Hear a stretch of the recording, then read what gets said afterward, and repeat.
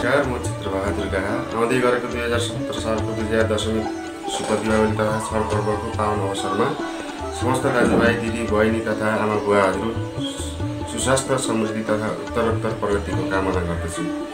साथै यस महामारीमा चाडपर्व मनाउँदा आफ्नो र आफन्तजनहरूको स्वास्थ्यलाई ख्याल राख्दै मनाउनु हुन पनि अनुरोध गर्दछु।